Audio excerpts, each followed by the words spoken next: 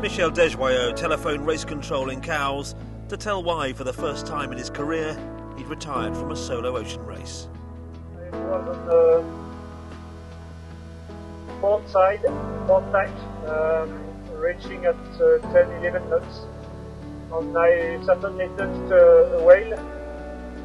Uh, I just saw, I just saw uh, the wing at the back of the boat after hearing a big crack in the boat. Uh, in fact, it's the, the daggerboard, the, the, the starboard daggerboard, which was uh, broken.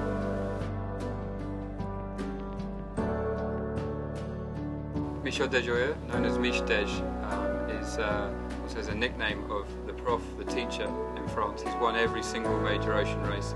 He's certainly the most accomplished solo sailor um, in modern times in France.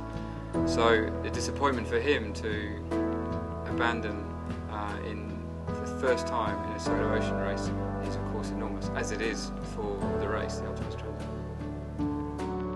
As Michel Desjoyeaux headed for home, Seb Josse led the IMOCA fleet, but at the end of the day, just three miles ahead of Loic Peyron. 300 miles, Giovanni Soldini leads Class 40.